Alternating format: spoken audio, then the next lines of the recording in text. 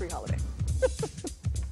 Well, don't throw out that antique stove or sell it in a garage sale. Yeah, there's a business in Stockton that can give it new life. Joshua Lawson, owner of Buckeye Appliance, joins us with more on how it's done. Okay, so Joshua, I have to ask you, do you have the 50s Yes. O'Keefe and Merritt's?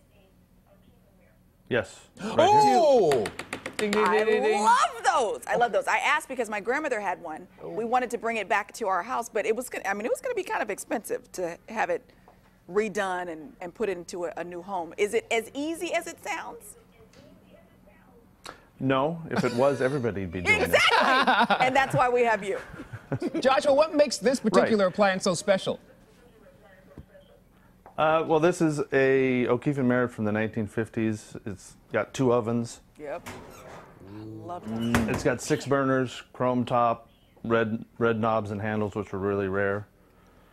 It's just a great stove that's going to last longer than I will. So Now, I've been to Buckeye Appliance several times, my friend. Yes. And when I go in, I find it is like a black hole because you never want to leave. You look at these things and you, you suck us in. Uh, but I, I notice when I go in there, there's so much chrome, I feel like I'm looking at like some sort of hot rod. yeah, they, they kind of did that with the stoves to, to match what the cars look like. Everything in the 50s was chrome. You had chrome tables. They just loved chrome back then.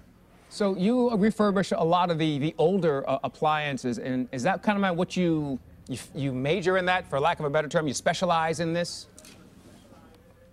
Yes, we specialize in uh, stoves from 1890 to 1955, and we can restore them for you, or if you just need them fixed, we can fix them also. So, do you also have parts? Let, let's say, for example, someone wants to try to restore their own. Good luck with that. If they do, do you have parts available as well?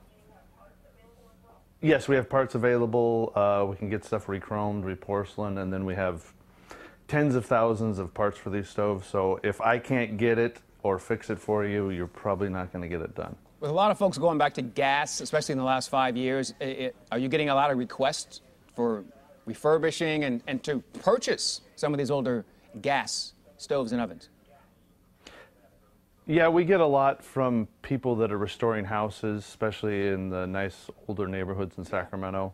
They're putting the money into the house, so they're going to put the money into the kitchen, and they want everything to look period, so they, they go with an old stove. And the stoves just last longer uh, than anything you can buy today.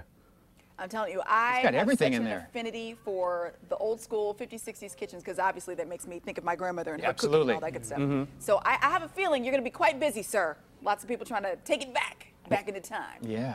Well, well, Uh-oh. we oh. hope so. That's We what hope we so. like to be busy. Yeah.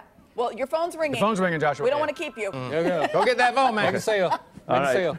Thanks, That's Joshua. good stuff out there. Thanks, Ben. All right, thank you. What are you going to do with two ovens and six burners? Listen, What are you gonna I do? will make it rain in the kitchen. We'll have all kinds of carbs going. It is. Biscuits, I'm telling you, you should go into that place. It is amazing. You ah. should go to that place because, like, it's it's seriously. He has it's more like, than just that. He has like, Yeah, he has everything there.